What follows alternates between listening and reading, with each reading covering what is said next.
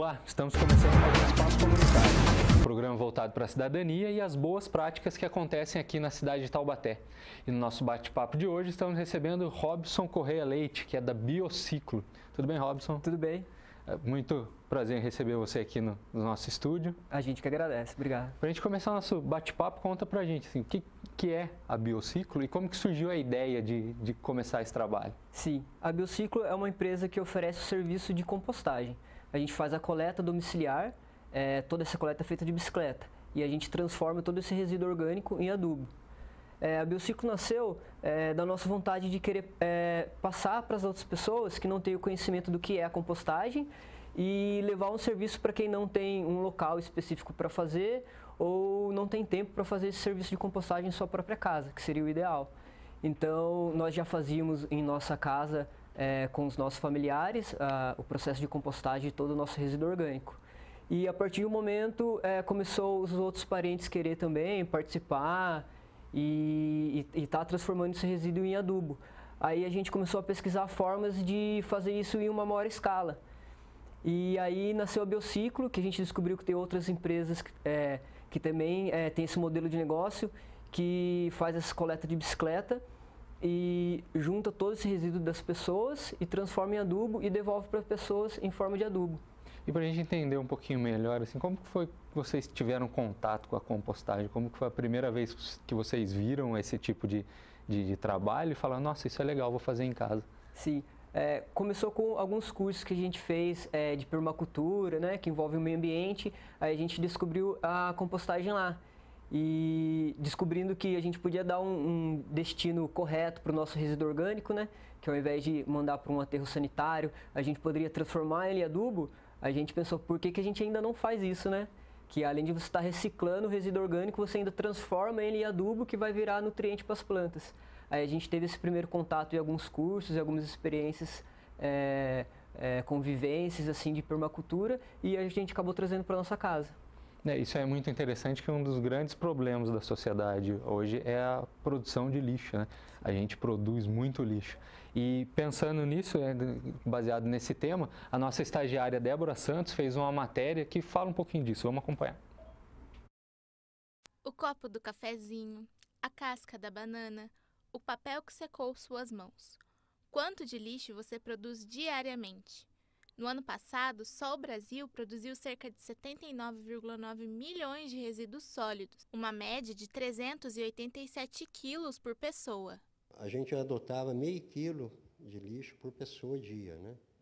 Hoje a média subiu um pouquinho mais, eu colocaria 800 gramas por pessoa dia. Um levantamento feito pela Abrelp em 2015 mostrou que entre 2003 e 2014 o aumento da produção de lixo cresceu em 29%, uma taxa cinco vezes maior que o crescimento populacional. A geração de lixo, por incrível que pareça, depende da situação do país. Então, quando o país está com uma economia firme, né, que as pessoas têm dinheiro, a tendência é de consumir mais. Para mudar essa realidade, é preciso que a gente se eduque e repense alguns hábitos. É basicamente um trabalho de educação ambiental. Isso tem que ser introduzido na escola, né, para que as novas gerações tenham uma consciência, tenham né, um cuidado maior do que a geração atual.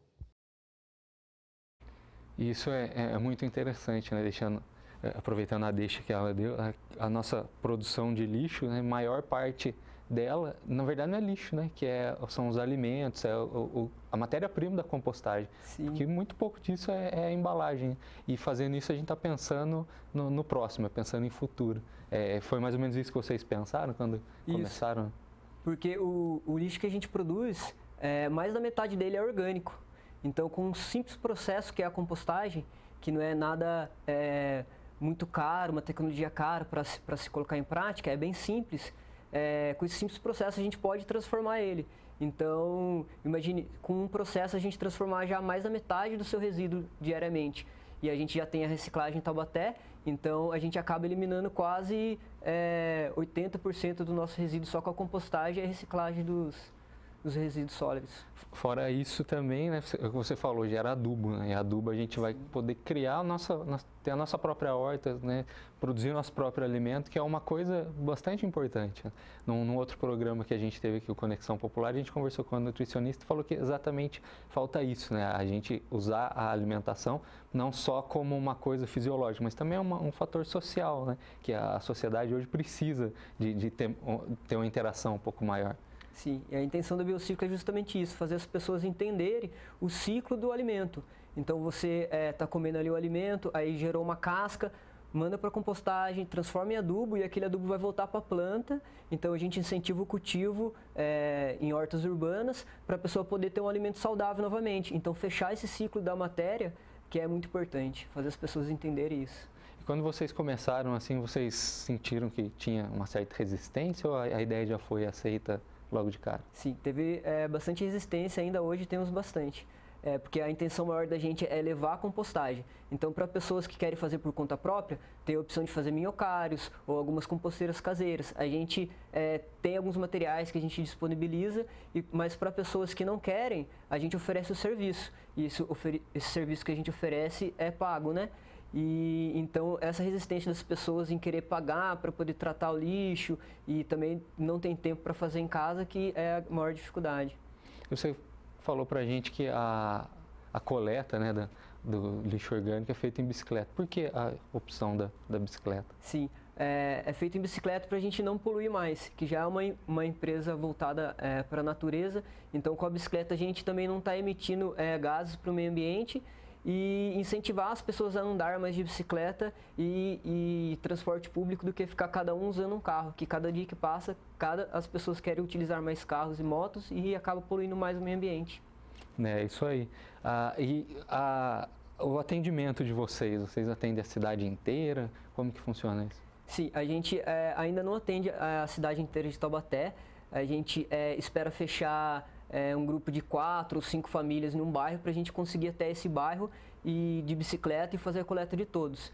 Então, a maioria da cidade de Taubaté a gente já atende, mas tem alguns pontos que ainda não, porque nossa coleta toda é feita de bicicleta e essa logística tem que ser pensada.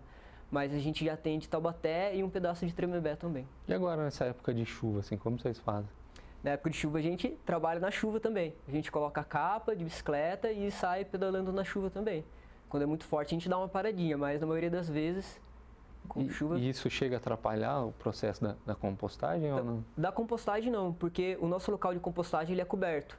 Então é, não entra chuva. Atrapalha mesmo só na coleta dos resíduos com a bicicleta. Legal. O nosso tempo tá, do primeiro bloco está acabando e a gente vai deixar esse assunto para o próximo bloco para falar, né, explicar um pouquinho mais o que é compostagem, como ela funciona. Não sai daí que a gente volta no próximo bloco.